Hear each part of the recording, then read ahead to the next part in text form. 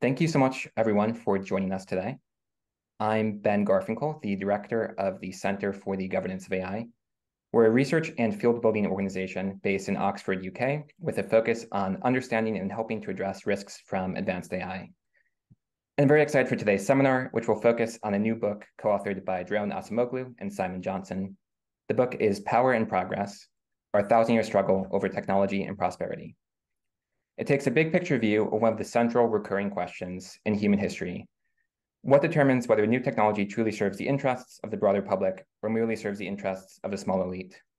The relevance of this question um, is, of course, uh, quite clear when we think about present-day discussions of artificial intelligence.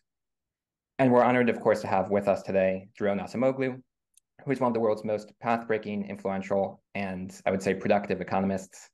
He's a professor at MIT, an elected fellow of the National Academy of Sciences, and the re recipient of numerous honors, which I, I don't really have time to, to list. His work has played a foundational role in reshaping how many social scientists think about the origins and economic effects of institutions, and his book, The Economic Origins of Dictatorship and Democracies, is actually a particular personal favorite of mine.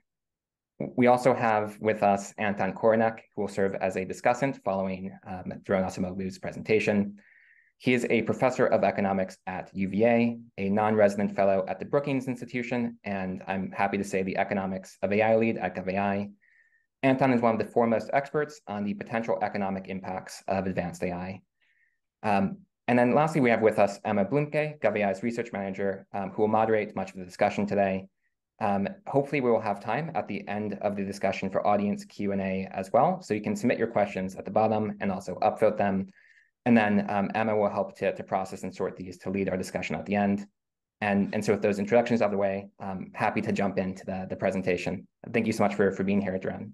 Thank you, Ben. Thank you, Emma. And thank you, Anton, uh, for uh, organizing this. It's a true pleasure to be here with this audience, which I think is extremely informed uh, and knowledgeable about these issues. But hopefully, I'll be able to share a couple of uh, perspectives that uh, might enrich the discussion or at least challenge it. And it's uh, largely based on my book with Simon Johnson, although I uh, the book was completed before ChatGPT came out, so uh, there is some discussion of generative AI that's that goes beyond the book as well. And uh, I think I don't need to give a lengthy introduction that leaving some scare stories aside, there is a lot of excitement about AI and generative AI, and a uh, powerful view is that because these tools are going to increase our capabilities, they will ultimately bring benefits one way or another, at least after we've made some adjustments in terms of our institutions, our business organizations, and, and, and perhaps our policies. And in, in some sense, this perspective is what motivates a lot of the book. And the reason why we have taken a historical dive is because this time is no different. The same sort of debates have uh, occurred in the past. And uh, and the sort of the basic conceptual chain, which many economists take as given, and I think many policymakers as given, is what we call the productivity bandwagon. So technology improves, our capabilities expand, and productivity rises, meaning output or whatever measure of value that you have in mind per worker increases. And as a result, there are a bunch of uh, processes that at the end ensure that workers benefit. For example, firms go and want to hire more workers who uh, have now, on average, higher productivity. But if you look at history, you'll see that there are many examples of truly revolutionary technologies that haven't really had this sort of beneficent effect. And as a result, they haven't taken us anywhere near Uh, uh, shared prosperity. So on the left here, I have one example, which is actually a very important breakthrough in medieval agriculture. The Dark Ages were dark in some ways, but not in terms of technology. There were a lot of new technologies, and the windmills uh, stand out. They improved productivity in various tasks by as much as uh, 10, almost 20 fold but uh, there is no evidence that workers benefited. Why? Because the windmills were completely monopolized by a small group who captured all of the benefits of those. Eli Whitney's cotton gin. Uh, well, other people may have invented it before Eli Whitney, but it goes uh, in history books uh, under Eli Whitney's name. Uh, it completely transforms the US South uh, from being an economic backwater into one of the most dynamic parts of the world economy, the largest uh, exporter of cotton, which was crucial for the Industrial Revolution. But the workers, the uh, uh enslaved uh, Black Americans, did not benefit. In fact, their conditions significantly worsened as they were moved deep south and started working longer hours under harsher punishments. So these emphasize the politics of who benefits and who loses because political power matters greatly. This is something we have to bear in mind in AI because AI is not neutral towards political power. But there's another aspect which is as important about what is it that new technologies do? How is it that they improve productivity? And for that, uh, we may uh, benefit from revisiting the Industrial Revolution because the story that uh, you sometimes hear about the Industrial Revolution is, you know, there were uh, some rough times at the beginning, but we are today all so uh, fortunate to be uh, living in a world created by the Industrial Revolution. And that's partly true, but the, there were some rough edges at the beginning, completely understates it. There was nothing automatic about the second phase of the Industrial Revolution that brought uh, productivity growth that was faster, wage growth, uh, more equality, better living conditions. In fact, for about 100 years, uh, the Industrial Revolution uh, created a hellish environment. One part of it was how new technologies improved productivity.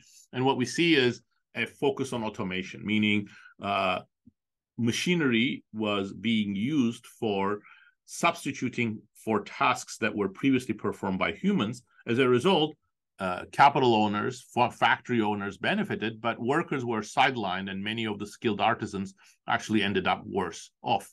Uh, but even uh, more jarringly, the new factory system was essentially based on lower wage labor, for example, in, in the area of weaving.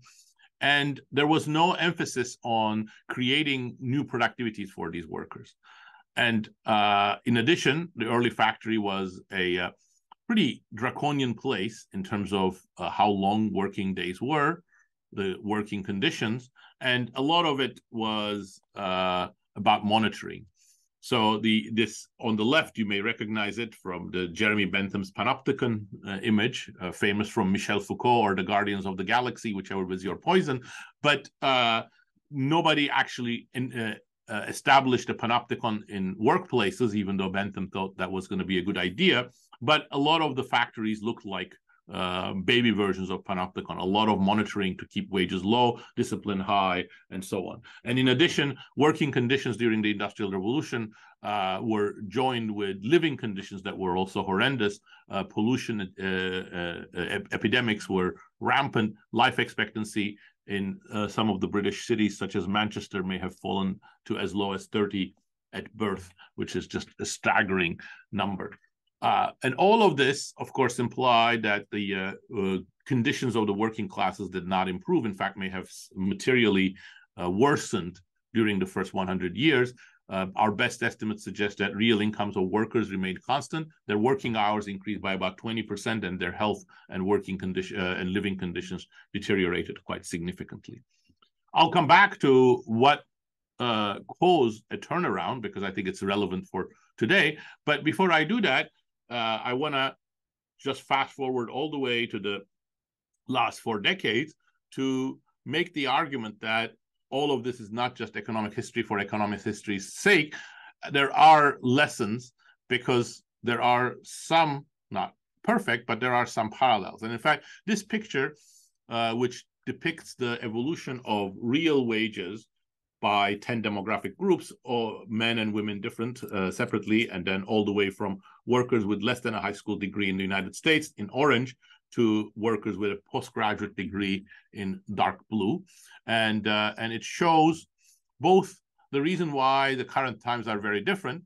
In the 1950s, here I'm starting it in 1960 and uh, normalizing it to zero so you can follow the, from 1960 onwards the evolution. You see the sort of the, the period of shared prosperity here. These 10 curves are tracking each other pretty closely up to the mid 1970s, and they're growing very fast, about two and a half percent a year uh, in real terms every year. But that shared prosperity comes to an end sometime around 1980 from then on, you see much larger levels of inequality, both among men and women. But even more jarringly, you see significant declines in the real hourly wages and real annual incomes of, uh, of low education workers.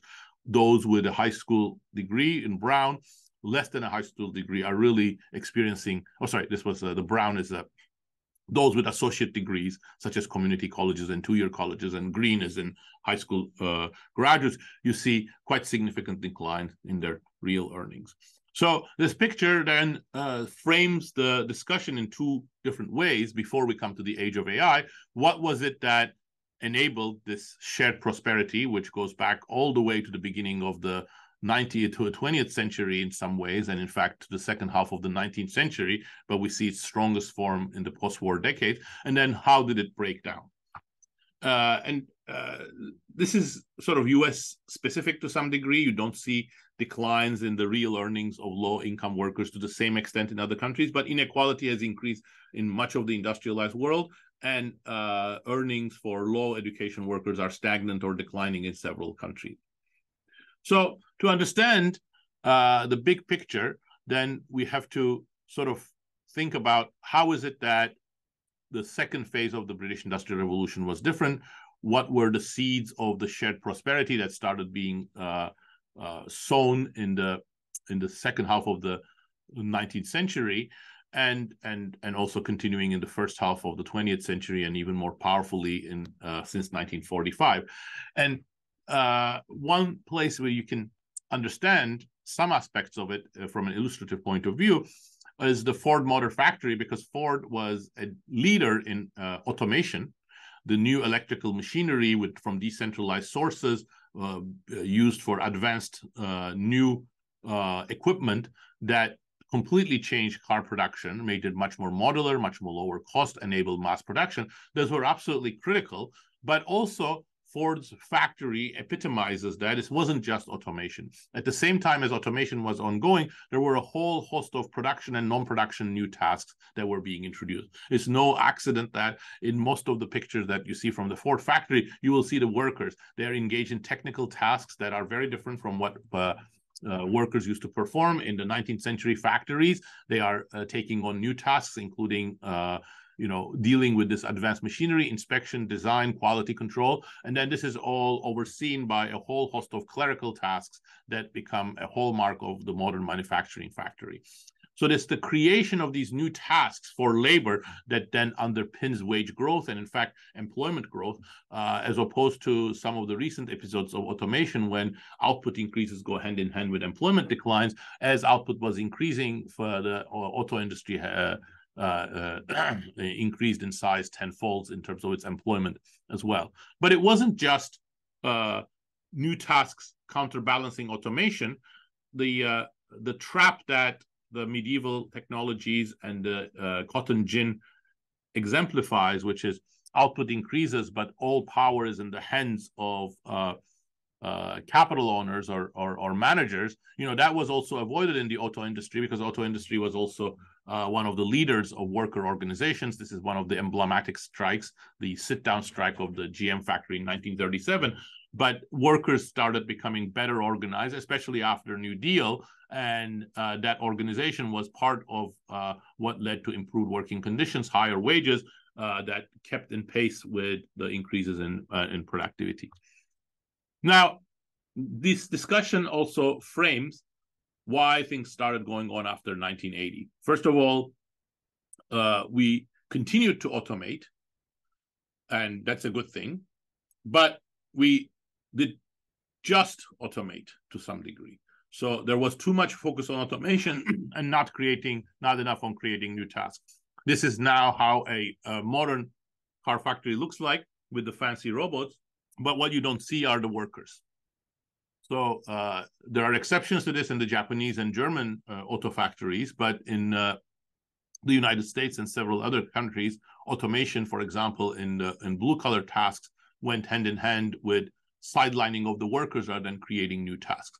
And then these new worker, these workers losing their tasks were at the at the at the center of the wage inequality. One way of seeing that comes from my work with Pascual Restrepo. So this chart is uh, will take a few minutes, uh, uh, two minutes to explain, but I think it's worth it because it provides a, uh, uh, a, an easy summary of a lot of the work we did. So on the horizontal axis, I have the change in real wages from 1980 to 2016. So that period this period that I showed you earlier on, where inequality starts increasing uh, and some groups are declining have, have, declining real wages. So rather than showing it year by year i'm showing you the cumulative change from the beginning of this period 1980 to the end. Uh, and instead of the 10 demographic groups i have more dem uh, detailed demographic groups distinguished by education gender experience and ethnicity and the color coding again tells you what the education level of these groups are you can see just like in that picture that many of these dots are below the zero. So those are the all the groups, come some of them very large, as shown by the size of the circle, that experienced significant declines in their real wages since 1980. But the key is the horizontal axis. Horizontal axis is a measure of how much automation the tasks that that group used to perform uh, has been subject to. Namely, it is the fraction of the tasks that a demographic group used to perform in 1980s, which have since then been automated. You can see for some groups that have high education, for example, postgraduates and graduates, that's essentially zero. But for some of the middle and low education groups, it's as high as 25, even 30%. But what's remarkable about this picture is that it shows that there's a very strong, and we argue in our work, I'm not going to go into the details, causal relationship between automation and, and, and wage changes. And this explains about 70%, 60 to 70% of the uh, of the beginning picture that I showed you. But it wasn't only automation being the focus, it was also institutional changes that shifted the distribution of power. And that was both because what we call the visions of companies change, which is what their priorities, what they found acceptable. Part of it uh, is epitomized by this famous economist, Milton Friedman, uh, who powerfully argued that the social responsibility of businesses to increase its profits and only to increase its profits. And in particular, what that meant to Friedman is, you know, businesses were free to cut wages in order to benefit shareholders, uh, as well as other other things that may be more questionable. And anybody who was going to be the best candidate for resisting that, which are the labor unions, were already in decline, and then got another big uh, uh, pushed down in 1980 when Ronald Reagan fired all of the professional air traffic controllers during their strike, and uh, and and and and the private sector sort of uh, followed suit. Ford, for example, was no friend of organized labor, but the general view among business people like Ford is that you had to share the benefits. Uh, if you were going to keep your workers and your workers gonna were going to remain productive, and and it also was good for uh, industrial peace because unions were always around the corner. Well, in this new age, the view was, well, you don't have to keep your workers happy. After all, you have all these automation machinery to replace them, and there is no countervailing powers to resist you. Now, all of this is pre-AI or pre-generative AI. Why should we pay much attention to that?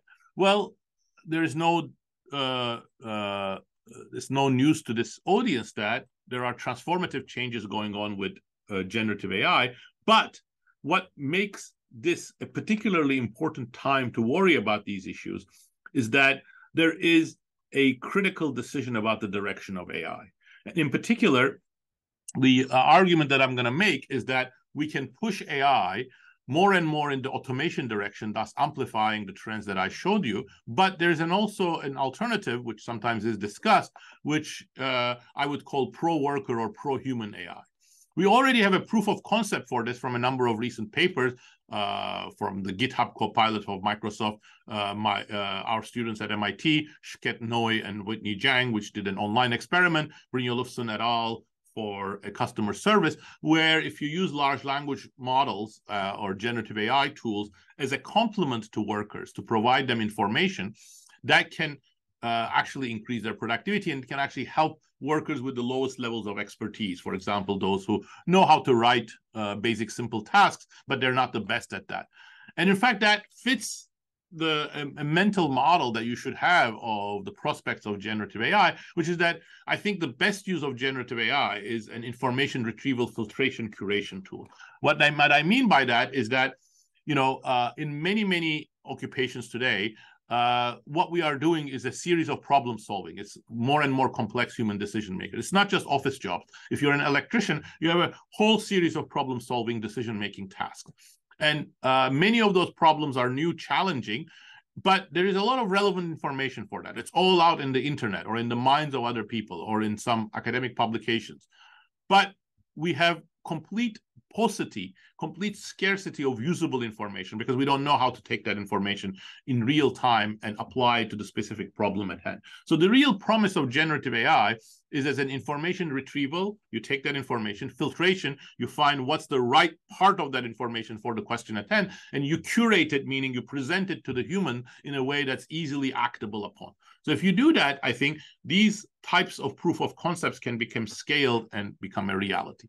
But what I'm going to argue now controversially, since uh, I think there are many people here who are uh, very knowledgeable about this industry, is that the we are not going in that direction, and we are very unlikely to go in that direction without a course correction. It comes from the structural factors that I have identified earlier on. Incentives for businesses to cut costs and automation is very valuable to them. Lack of countervailing powers and imbalance of power in workplaces, but also it is being boosted by the uh, approach in the industry about what AI is about. And in fact, I would say from the very beginning, there were two visions of AI. And the industry today, I think, is much closer to one of them.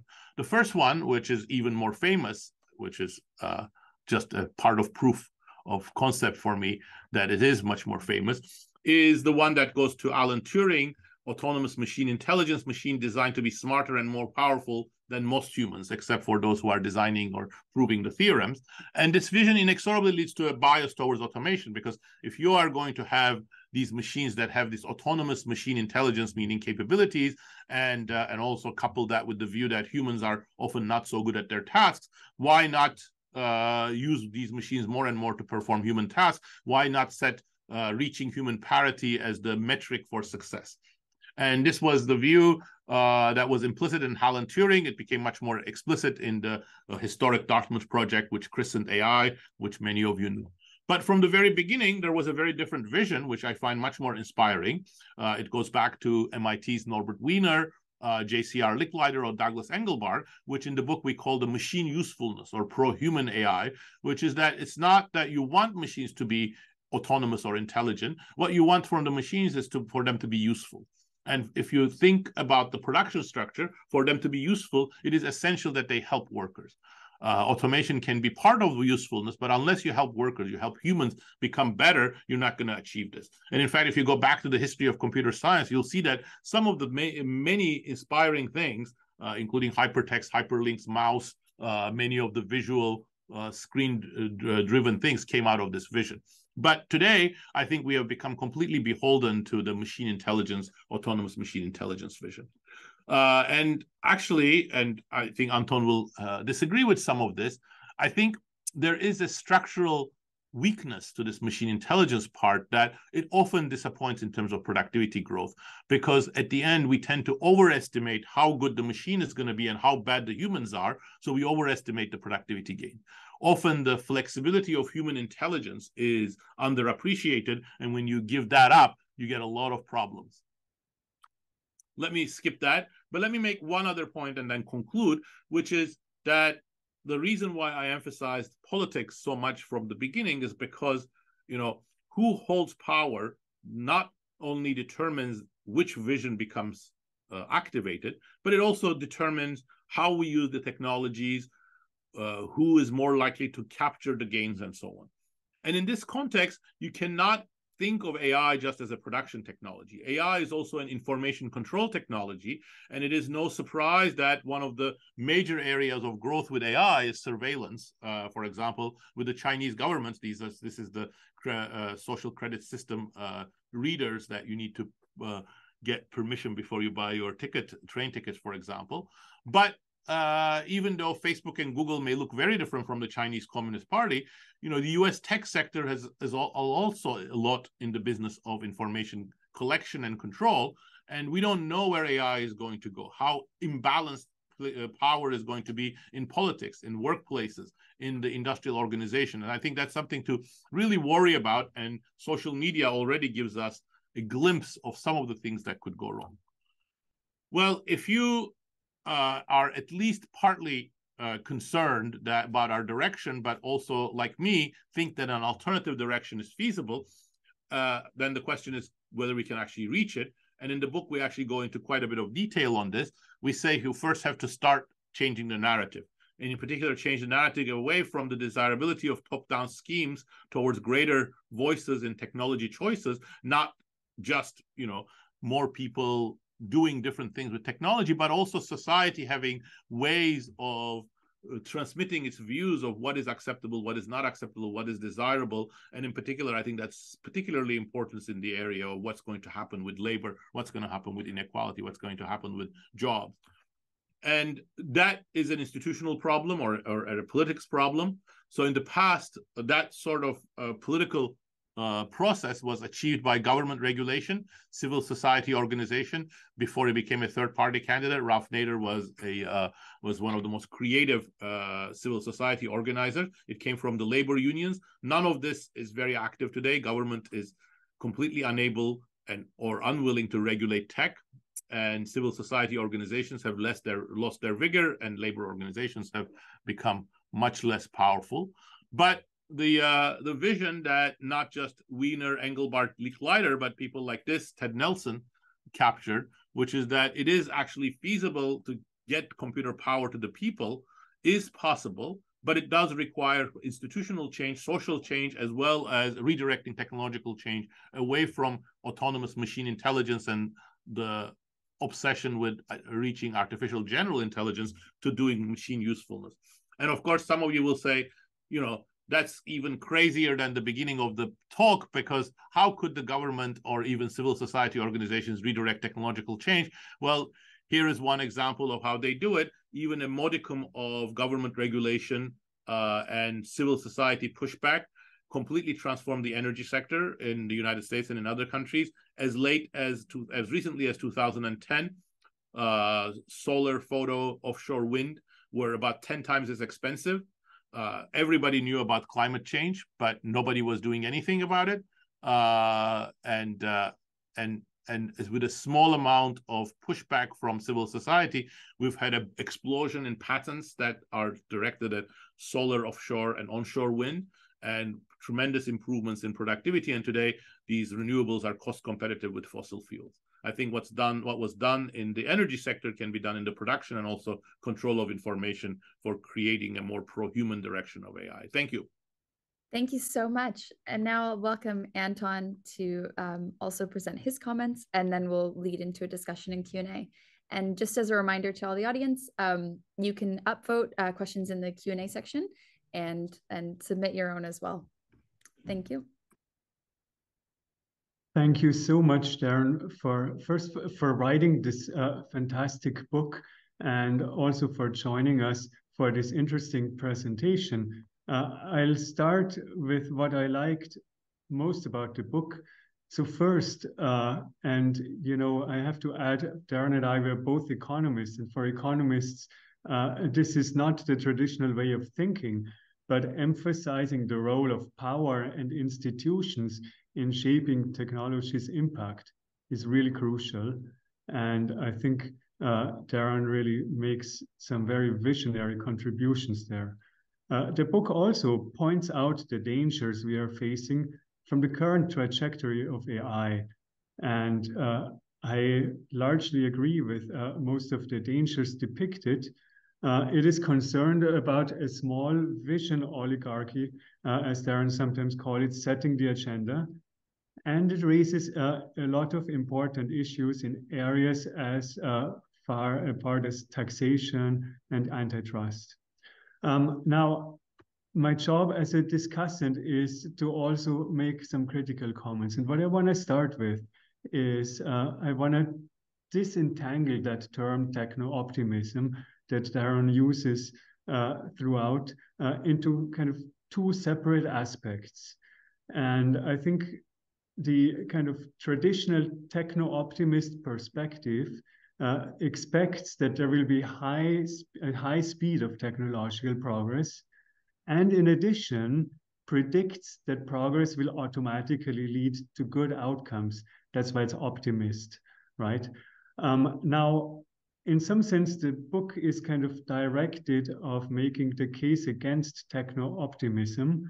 Um, but I'll say I myself and a lot of the people, uh, I'm sure, uh, here at GovAI uh, expect one, uh, but are very concerned about the issues related to point two. So in other words, I expect a very high speed of progress going forward, but I'm extremely worried about the outcomes that this will lead to. Uh, so uh, does it make me a techno-optimist? Uh, not necessarily. Uh, I only subscribe to basically one part of the premise. Uh, and uh, I actually really believe the opposite on the other part. So um, the book makes a convincing case against uh, what I want to call techno fatalism, that we should just let technology proceed and we can't really do very much. Um, but I also want to say that the alternative that it paints is inspiring, but may be bordering on the naive. So on an, in an ideal world, I would agree with everything that is proposed in the book. But in practice, the described uh, kind of first best, as we call it in economics, uh, may not be attainable. And I'll make uh, an analogy that is familiar to everybody. Uh, in an ideal world, the ideas of Marxism uh, are uh, really good, right?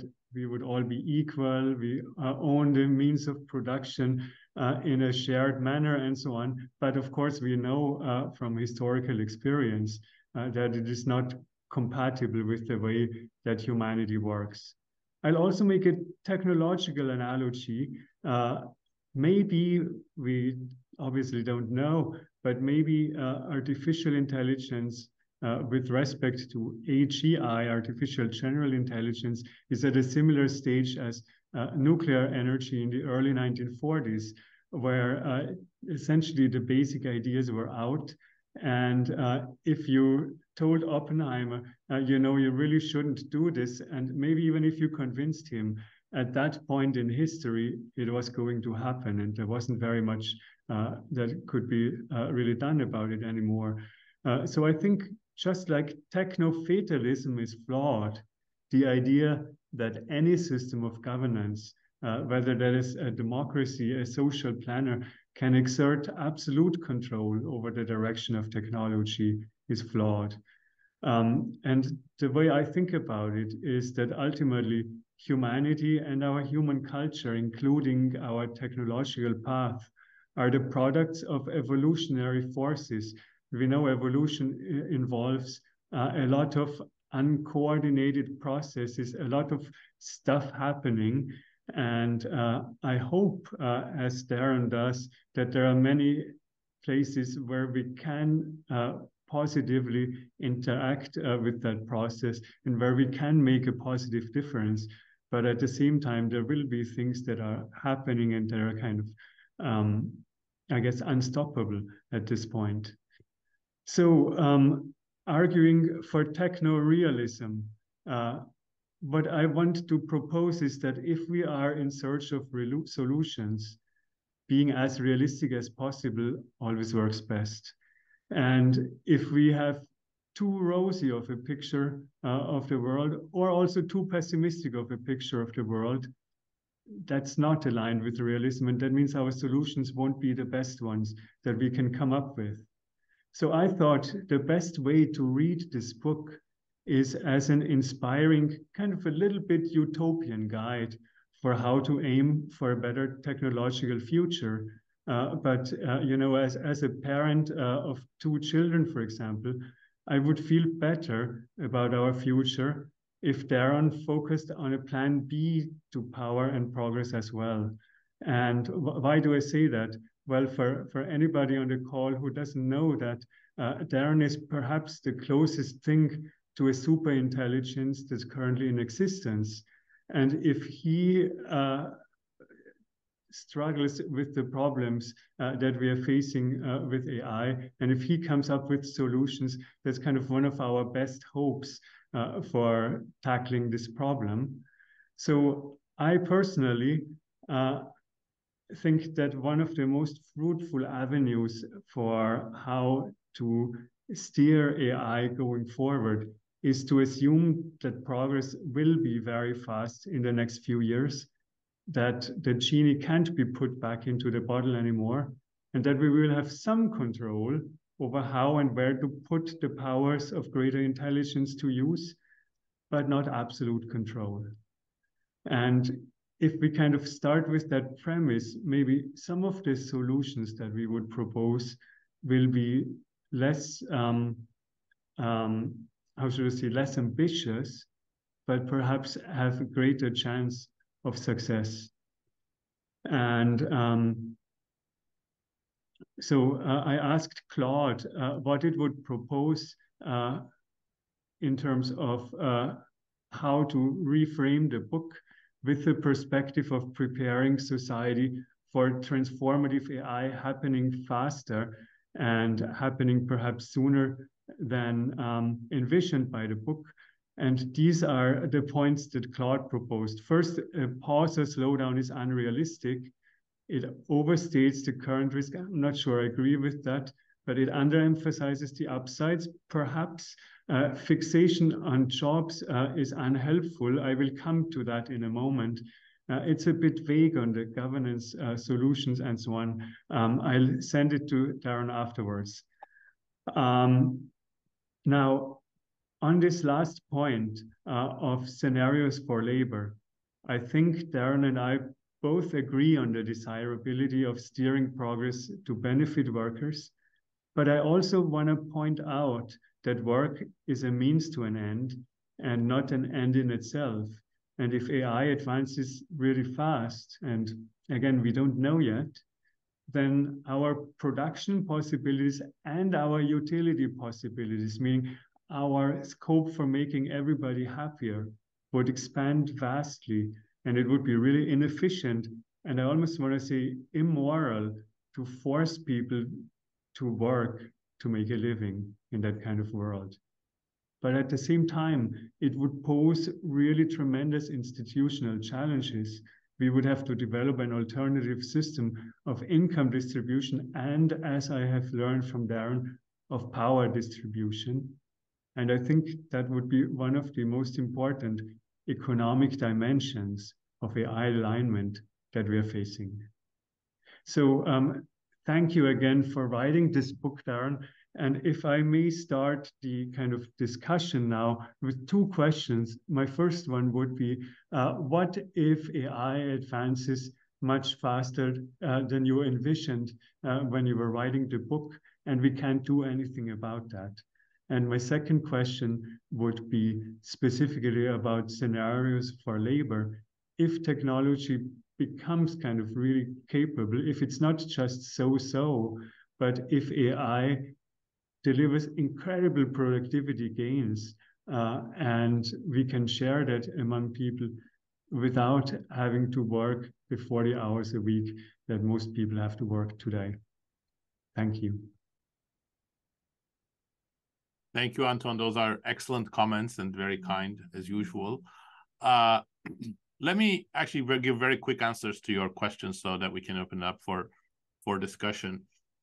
I think in terms of uh, the the the one thing that uh, is very important from your well, many things important, but one thing that's uh, particularly important from your discussion is what is our room for redirecting technological change? Meaning, is there really a possibility for changing the direction and how malleable technology is?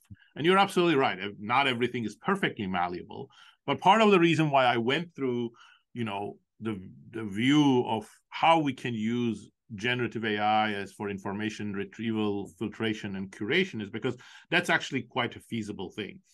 You know, it's completely within the existing technological know-how to create tools for teachers, for example, that they can do much more individualized education, or for electricians so that they can troubleshoot by taking pictures of the specific circuit that they're having problems with and then they find uh, use cases that are similar. So those are not you know dreams. Those technologies can be developed but that's not where we are putting the emphasis. We're putting the emphasis on more and more data collection you know the tremendous amount of billions of dollars the industry is uh, you know putting is uh, you know is, is multi-purpose but if you look at Microsoft, you see where they think a lot of the monetization is going to come from. It's going to come from individualized ads. That's why Bing versus Google search is so important.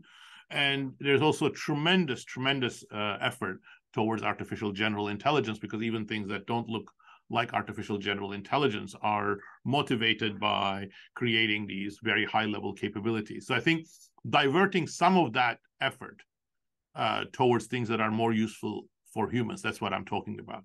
But then, uh, in terms of your question, what if A, that not feasible, and B, AI advances much faster? You know, uh, I'll tell you two answers to that question. First of all, I don't believe the, I believe that AI is very, generative AI is impressive. I believe that there will be a lot of resources and there will be steady progress, but I do not believe that we're going to get anything close to the types of productivity gains that some people are talking about. And the reason for that, and that's why the two types of techno-optimism, thank you for that disentanglement, that's very useful. But the two types of techno-optimism in my mind are a little bit linked is because I think when we think of automation, we tend to underestimate human creativity, flexibility, situational knowledge, and all sorts of things that humans are involved in, in a range of tasks. I think those are going to be very difficult to automate. And that's why productivity gains, you know, they're going to happen, but they're not going to be super fast. But even if I ignore all of those misgivings that I have and I say, okay, imagine we're going to have these tremendous advances in AI and everybody is going to be jobless uh, because, you know, AI is going to do everything better than humans you know, can we find policy solutions to make this a better world? I don't think so. Because I don't think the issue is just a simple one of redistribution so that we get better consumption. I think if we have a world in which a small group of people design and control algorithms, algorithms do everything, that's a very dystopian society because a very large fraction of the population becomes completely dispensable they become second second class citizens par excellence. If you give them UBI, that's even worse because that just uh, uh, uh, institutionalizes their second class citizenship.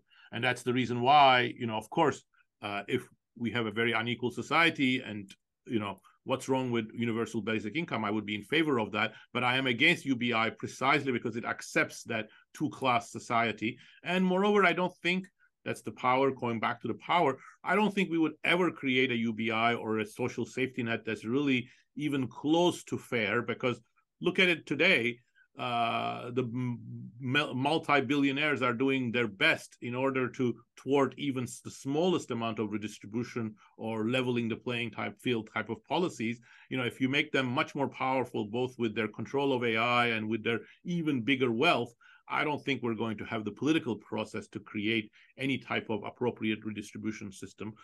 And even if we created it, that status hierarchy, that two class society would remain. So that's very dystopian. But fortunately, I don't think we are going to be there anytime soon or during the my lifetime or my children's lifetime. So we have a lot of time to redirect technological change, but it has to start soon. Hmm. Um, that answer, unfortunately, doesn't make me uh, feel better about the future. It makes me more worried, if anything. but thank you very much uh, for sharing that with us. Um, so uh, I think, Emma, would you like to uh, ask uh, the questions uh, that we got in the Q&A? Excellent. Yeah, thank you so much, both of you. We have actually 16 questions in the Q&A. And um, audience, just to let you know, keep on upvoting. They're uh, switching rapidly and which ones are the most popular. um, uh, Daron, you just mentioned that you know we kind of are at a critical time. We have to move quickly to actually shape this trajectory. Um, and a lot of these questions actually overlap. So there's a lot of questions about how much influence can we actually have over which path we take here? How optimistic are you about our power to influence those paths? Um, and another like also to get into specifics like who do you see like which specific le- levers are you seeing as the most promising for the, actually the time that we're in right now? Perfect questions, and and look, I I think uh, I have to cling to the hope that it is feasible because I think it is technically feasible, and there's nothing socially that makes it impossible, but it is a tall order, so I accept that, and because you know we are at a particular juncture where corporate incentives are very much aligned with automation the tech industry as the sort of i think uh, is is in a mindset that supports that because of the emphasis on machine intelligence uh, you know autonomous general i mean artificial general intelligence and uh, and the current path of AI, which is all about large companies collecting a lot of data, and civil society and labor organizations are weak. But I think change in all of these is feasible. I think the corporate world is uh, engaged in some sort of soul searching that we haven't seen for the last 50 years. You know, the Business Roundtable, which was like the biggest uh, advocate of the Friedman Doctrine, saying, you know, don't know corporate responsibility is very important and you have to take in the environment and the workers into account. Uh, I think when I talk to people from the tech industry who are not at the very top, but at the next layer, there's a lot of uh, concern about what the implications of these new technologies are. There are a lot of different ideas. So I think there's a hunger within the tech industry for greater sort of ethical responsibility. It won't come, it won't arise by itself, and it won't arise under the current leadership that we're seeing of the large companies, but it, it is there. And I think uh, what we are seeing over the last few years is that civil society organizations are are, are rebounding. No, I don't think there was another question I glimpsed uh, uh, briefly. Labor organizations, as they are today, I don't think are up to the task, both for institutional reasons that makes uh, bargaining at the establishment level in the United States, so sectoral, broader bargains with bigger mandates are not possible. Labor organizations are quite backward looking.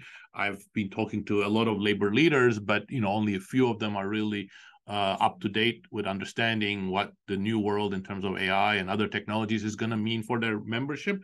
But but again, I think things can change, and uh, we've seen you know breakneck paced changes in values and priorities uh, during critical periods. And I think we are in the midst of one of those critical periods. So, yes, I think Anton is right. And I think that question is right. This is difficult, but it's far from impossible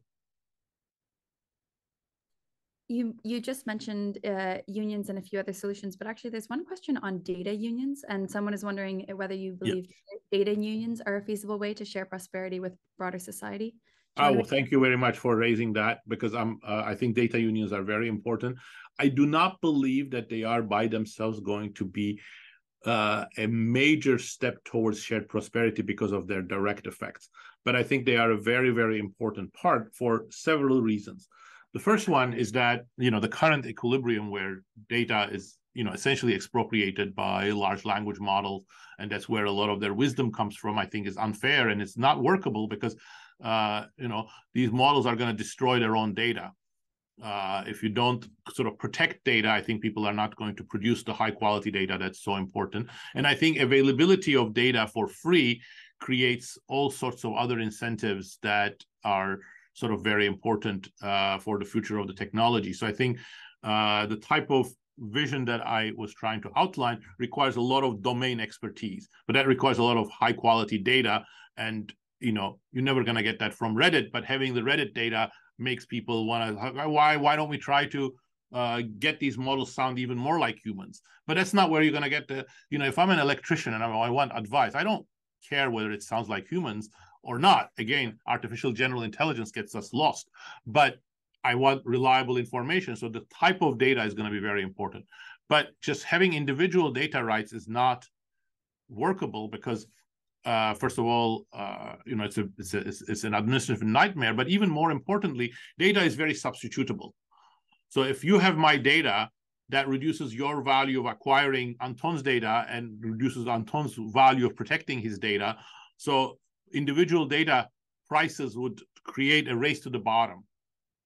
so that's why data unions are very important. And then if you follow this logic, it suggests that if you have the right sort of data unions, it will actually change the incentives in the industry towards more pro-human AI, better treatment of the data, better treatment of information, more democratic use of information. So I think uh, the indirect effects of data unions are the ones that I'm really excited about. Those are great, great comments. I, I agree on all the points about data. Um, so a contrasting opinion to some of the things that we've discussed today is the another worldview where um, essentially unemployment due to you know heavy adoption of technologies could actually be a very desirable outcome. Uh, do you have any comments for because that's that can be a very popular opinion as well? Um, do you have any comments for you know if it is a world where we have great abundance and leisure and freedom to choose how we spend our time? Uh, how do you view those opinions? Well, again, I, I I disagree with that. First of all, I think uh, you know this to do this we need a much deeper dive into philosophy than uh, philosophers of AI have fully undertaken.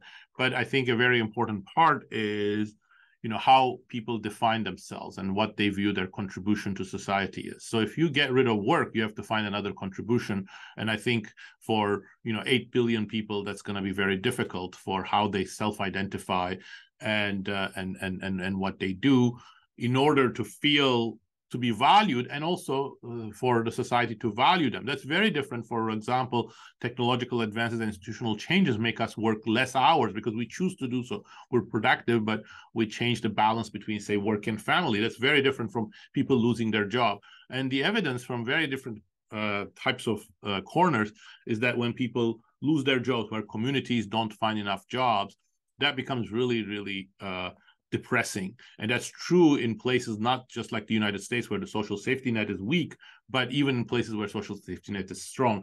There's a very interesting uh, experimental paper from the Rohingya uh, refugees in the Cox's Bazar where people are offered work and transfer payments and are very, this is a very poor population and what the what the study finds is that you know when people are given work uh, it's much better for their mental health, for their happiness, than giving the same amount. And when they're given the choice between transfer and work, uh, they are willing, even though they're very poor, they're willing to take 30% pay cut so that they can work and get that payment rather than they just get it as a pure transfer.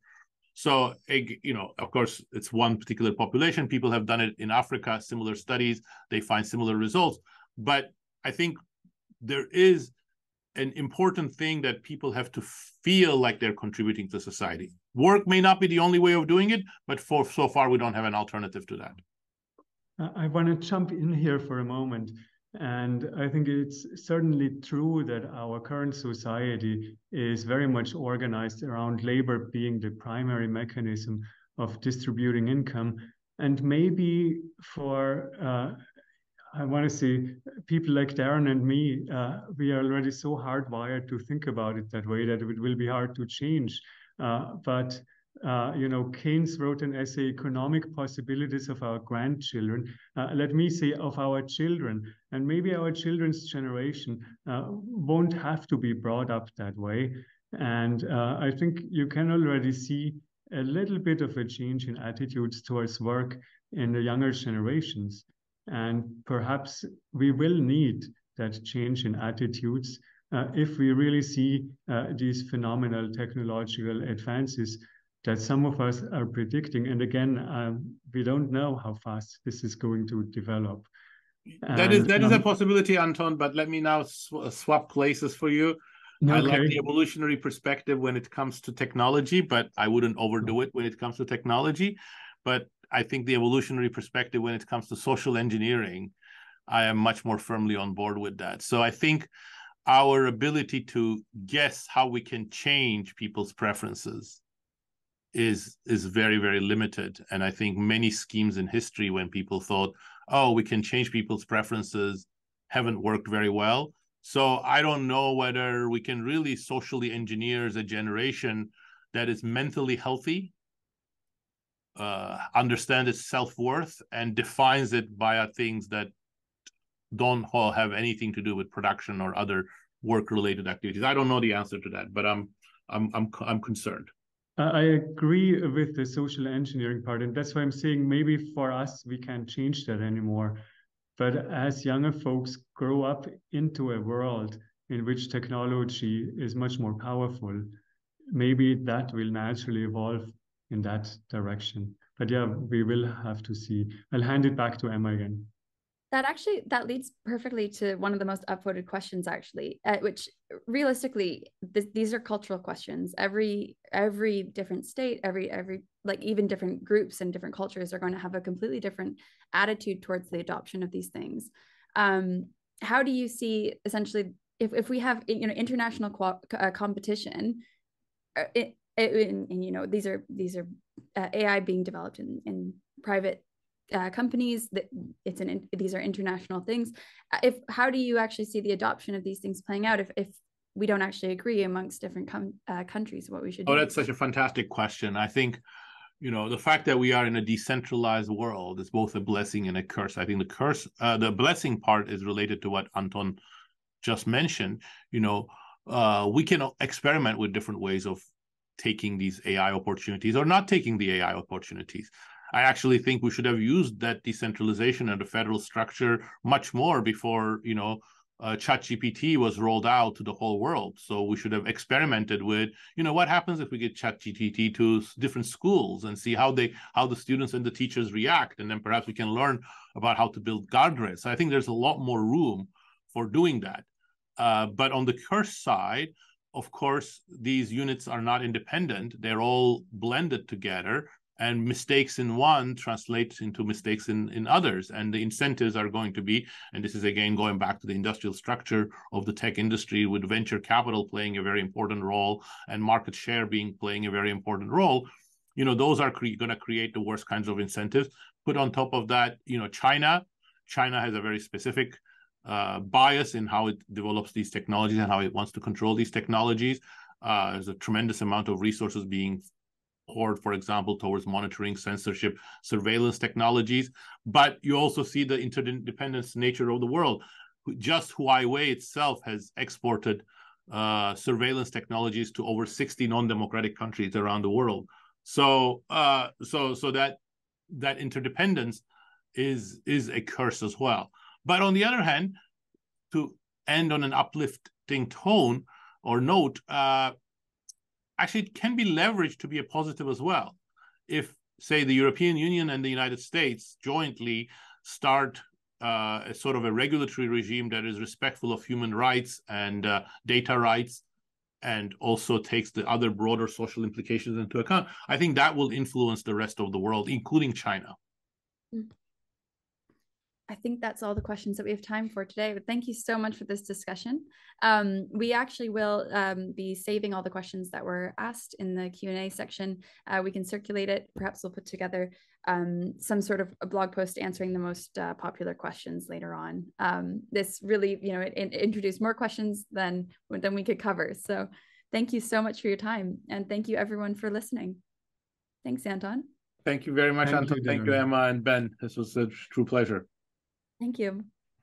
Take care, everyone. Bye bye, everybody. Thank you for joining us. Thanks. Bye bye.